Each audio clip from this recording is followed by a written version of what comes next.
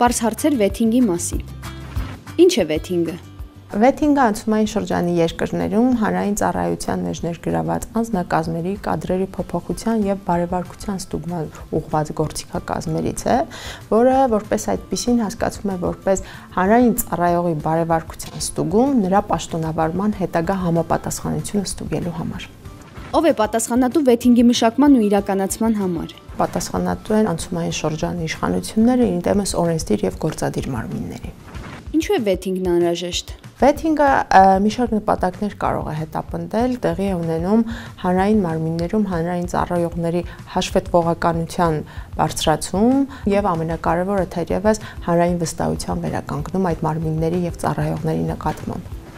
Վեթինգն իրականացնելու համար նախապատրաստական ինչ աշխատանքներ են անհրաժեշտ։ Մինչև վեթինգի իրականացումը անհրաժեշտ է մի շարք գործոնների ուսումնասիրություն, ռեսուրսների գնահատում, ռեսուրսները վերաբերում է մարդկային ռեսուրսների, ժամանակի, հնարավորությունների, ֆինանսական հնարավորությունների գնահատմանը, տվյալ ժամանակահատվածի ուսումնասիրությունը, իրավիճակը ընդհանուր սոցիալ-տնտեսական քաղաքական ինչպիսին է, ինչը եւ միայն ուսումնասիրելուց հետո թույլ կտա բարեհաջող ձևով կյանքի կոչել վեթինգի գործընթացը։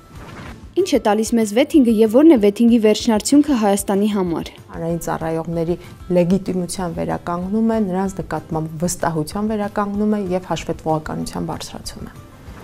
Ինչ կլինի, եթե Հայաստանում չկիրառվի վեթինգ չկիրառվելու պարագայում ըստ էության նույն բնականon գործունեությունն է այդ մարմինների տարաբնույթ, այսինքն բարքերի, համակարգերի պահպանություն նույն մարդկային ռեսուրսներով, նույն մարդկային կադրերով, մոտեցումներով, այն մեթոդներով եւ սկզբունքներով, որոնք որ իրենք սովոր են եղել աշխատել եւ որոնք միտված են եղել ավելի շատ մարդու իրավունքների համակարգային խախտումներին։ Որոնք են Հայաստանում վեթինգ իրականացնելու խոչընդոտները։ Կարծում եմ դա քաղաքական կամքի բացակայությունն է եղել եւ կա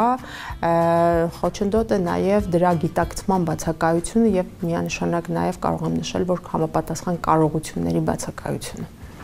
Հնարավոր է որ վեթինգ իրառելուց հետո դատավորների թիվը կտրուկ պակասի այո, դա կարող է տանել դատավորների թվի կրճատմանը, բայց ճգնաժամային իրավիճակներից խուսափելու համար անհրաժեշտ է նախապես ճիշտ գնահատել ռեսուրսները եւ ժամանակը։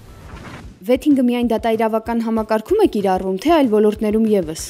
Վեթինգը կիրառվում է եւ դատաիրավական ոլորտում եւ այն բոլոր ոլորտներում, որոնք որոնց աշխատանքը գործառույթներ ուղղակիորեն կախված են մարդու իրավունքների հետ, այսինքն ուժային կառույցներ, ոստիկանություն, զինված ուժեր, այն բոլոր պետական մարմինները, որտեղ համակարգային գրանցվել են, արձանագրվել են մարդու իրավունքների խախտումներ եւ հայարժեշտություն է նկատվում այդ փոփոխությունները իրականացնել։ Որ երկրներում է կիրառվել վեթինգ։ Մակեդոնիա, Խորվաթիա, Կոսովո, Բոսնիա-Հերցեգովինա, Ալբանիա, դրանցից յուրաքանչյուրը իր դրական եւ բացասական կողմեր ունի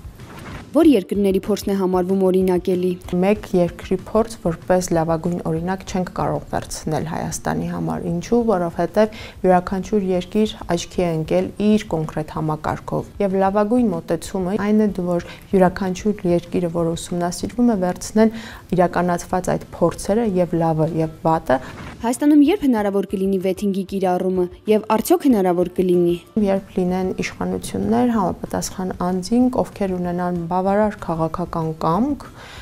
բավարար հմտություններ եւ գիտակցում, թե ինչու համար է անհրաժեշտ ունենալ բարևար քանային ծառայություն։